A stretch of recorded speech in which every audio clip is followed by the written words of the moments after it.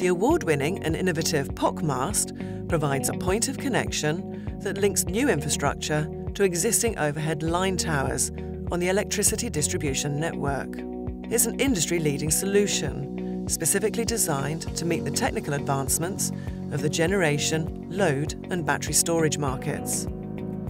The main advantage of the POCmast over a traditional solution is that there's no requirement to cable back to the nearest substation or build a new tower. Plus, it's much safer to construct than traditional tower methods, as it's put together in sections at ground level. The sections are connected horizontally before being raised to vertical using a hydraulic ram. This method of construction greatly reduces the time spent working at height and doesn't require any lifting operations with large cranes. It's also less costly than traditional connection methods, as it avoids the need for a new tower, associated temporary diversion and access accommodation works for heavy plant. It's good for the network, as circuit outage times for installation are greatly reduced.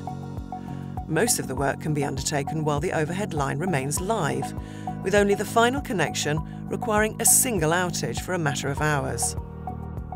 There's minimal environmental and visual impact, as the POCmast uses screw anchor foundations, avoiding the need for deep excavations and large volumes of concrete. There's also less visual impact because a new tower is not required. It's also quick to complete, taking less than 20 weeks from concept to completion, including construction. The POCmast is low maintenance, as it's fully galvanised with a design life of 40 years. Manufactured in line with the quality assurance requirements for new overhead line structures. Since winning the Construction News Specialist Award for Business Innovation of the Year, we've invested considerably in developing the POCmast for quicker connections on projects up to 132 kV. The product has been designed in the UK to the latest European overhead line design standards and a range of POCmasts has been developed to enable connection to the most widely used 132 kV tension and suspension towers on the UK distribution network. As part of the DNO approval process, full-scale testing of the POCmast was undertaken at the EUCOMSA test centre in Spain. Representatives from UK Power Networks, Northern Power Grid and SSEN witnessed the tallest 132 kV POCmast, which is 29 metres in height, being successfully tested.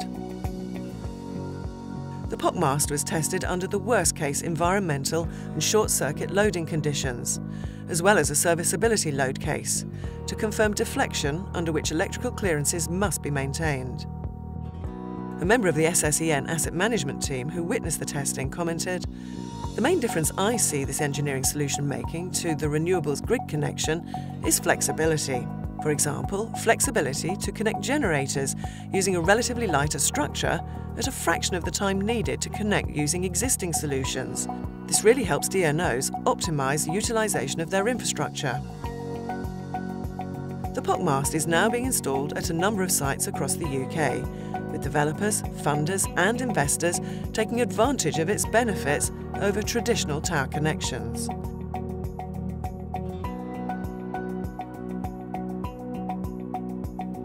It's much safer, cost effective, good for the network, has minimal environmental and visual impact, and projects are quick to complete.